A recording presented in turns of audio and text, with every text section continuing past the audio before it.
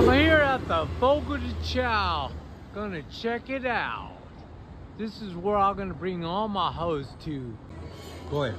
Well, uh, welcome into the Show, and I'm Michael, and uh, I'll be floating around helping you guys out. Have you guys dined with us before? Have you? No, first time in. Sounds good. Well, welcome in. Our uh, churrasco experience is kind of what we're known for. It's a traditional style of Brazilian dining.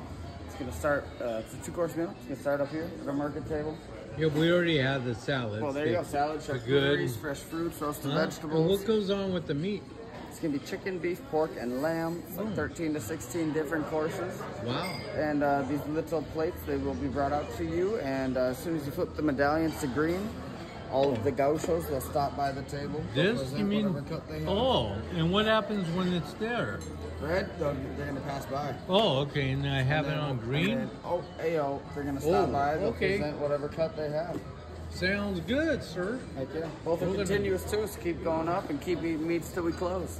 Thank you very much. I'm gonna eat like a pig here. Fogo de Chao Minneapolis. baby. Thank you. You like medium, medium rare?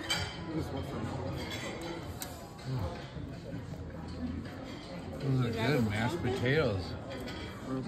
Do you have those other ones? The um, Thank you. you used to serve bananas. You don't want it? This is Uh, I don't know. Oh, okay, great. this is plantas and fried banana.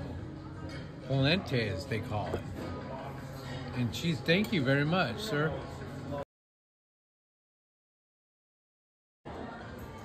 And they have this extensive wine here at the Fogo de Chao. You even need a ladder to get up like it's a library. I can picture myself going up that ladder.